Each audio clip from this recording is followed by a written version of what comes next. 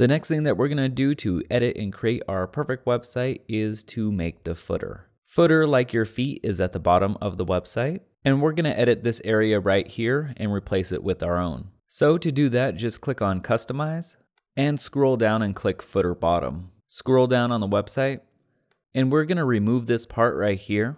But before we remove it, we're gonna copy this date.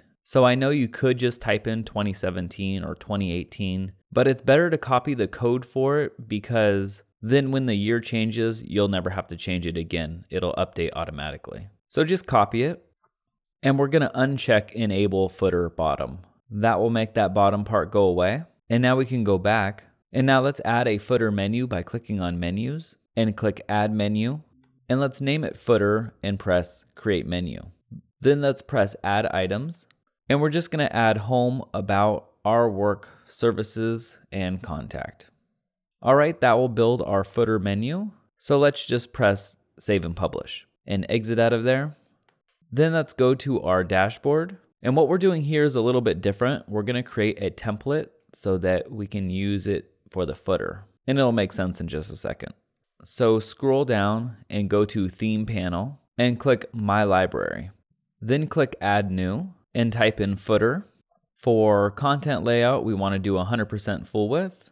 And for title, we want to disable. Then click publish. So this is gonna allow us to put the footer, which is just a regular page, on each page.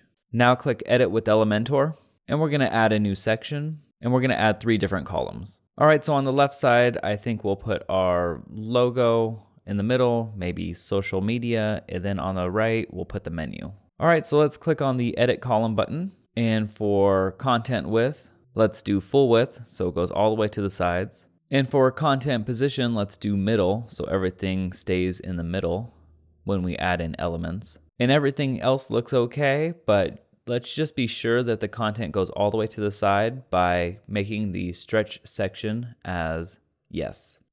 All right, then click advanced. And for margin, let's just do zero so that there's no space on the top and bottom. And let's click on style and let's add in a background. So just go background type as classic and add an image. And we're just gonna add in our homepage image and press insert media. All right, so it gives it a nice blue color. For position, let's do top center. And for size, let's do cover. All right, that looks pretty good. Let's add some elements by clicking on the button. And let's drag in a text editor. All right, we could get rid of all of this text. And let's type in our copyright. So copyright, paste in that copyright code date and we don't need to put 2017 because that puts it in there. And let's just put in our name or our company. All right, let's go to advanced and let's unlink the values. And for margin, let's do 15 on the top.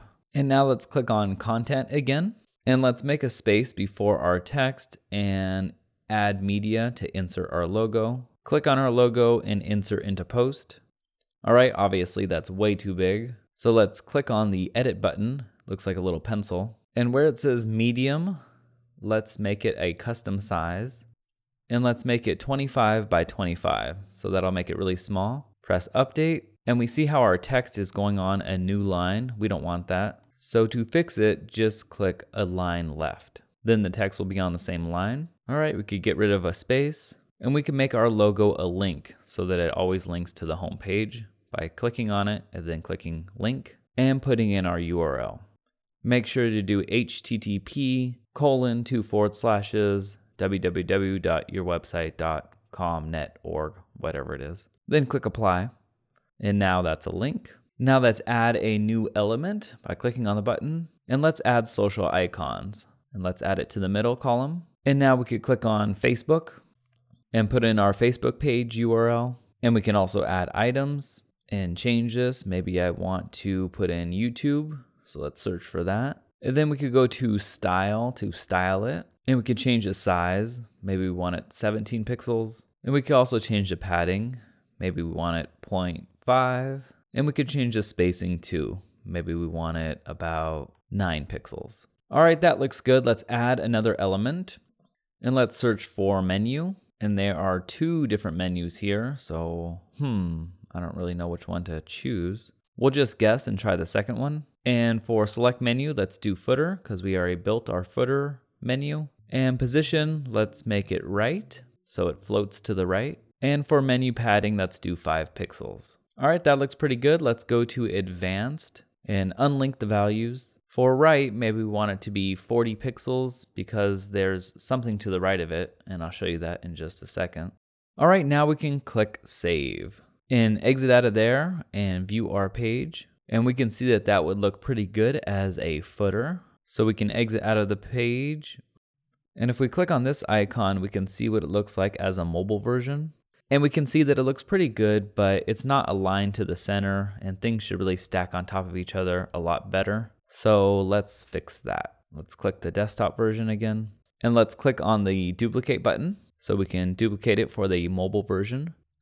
And let's click on the edit column button for the top section and go to advanced and go to responsive and we are going to hide this on mobile. Now let's click on the bottom mobile section and go to advanced and go to responsive and hide it on desktop and tablet so it only shows on mobile. All right, let's click on the edit column for the top section, go to advanced and go to responsive. Yes, I do have that right. Okay. All right, now let's edit our mobile version. So we can click on the first column section and we could just click on the logo and press align center and highlight our text and align it center. All right, we can also click on the logo and press the pencil icon to edit it. And let's make it a little bit bigger. Let's do 45 and press update. All right, so that looks pretty good. Now the social icons are already centered, so that should work okay. But now let's click on the menu and go to advanced and make the margin zero. All right, now let's click on content for the menu. And for position, let's do center. So it's centered. All right, that looks pretty good. So let's click on save. And now that it's saved, we can exit out of there and view our page. And this is what it looks like for the desktop version. But if we go back to the home page, we can see that the footer isn't here because we haven't set the footer up as the footer. So to change that, just click on Customize and scroll down and click on Footer Widgets. And if you scroll down under Select Template, you can choose Footer. That's the template that we just created. And it will show up. All right, but that looks kind of messed up. We definitely have a little bit more work to do. It was a good guess, but not right on. First, let's get rid of these black bars on the top and bottom. So under padding, let's go zero, put in a bunch of zeros. All right, that looks pretty good. And now let's click save and publish. All right, let's see what it looks like on the regular website. So let's exit out of there and we can scroll down and we see that it looks almost perfect. We see that the contact is a little bit messed up because it's covered by this button. And if you click on that button, it will scroll up your website for you. So it's pretty cool to have, but we don't want it that close. So we need to add a little bit more margin to the right of that contact button. All right, but let's see what it looks like mobilely. And we can see that that looks pretty good. So we have all of that and it looks great. And if we click on the logo, it will go back to our homepage and it looks really cool. All right, but how do we change this right here, this contact? If we click on it, it'll obviously work and it'll be at the bottom of every page, which looks awesome, but it's still a little bit close for my liking. All right, so we can go to the dashboard and go back to theme panel and my library and click on footer. Then click edit with Elementor. And for the top desktop version, we can click on that column, go to advanced, and let's make it maybe 45, press save. That's just a guess. Exit out of there, view the page, and go to the home page to check it out and it still seems a little bit close, maybe five more pixels. So let's click on the page to edit it, click it again, go to advanced and maybe 50 pixels. That should do it, I really hope. Press save and refresh the home page by clicking on the tab and pressing refresh. And voila, it's looking pretty darn good. Let's see what it looks like mobilely. And bam, it is looking great. All right, we can exit out of there and look at our page. It is looking really awesome. We can view our services and look at it. and it's looking really great. And our footer is in there, looking very cool. We can click See Us in Action, which is the Our Work page, and we can see our footer in there also if we scroll down. And that is looking really cool. And we could click on the contact and see that page all done with the footer in there, looking awesome. And we can go back to the home page and we are all done creating our website. So I hope you really love it.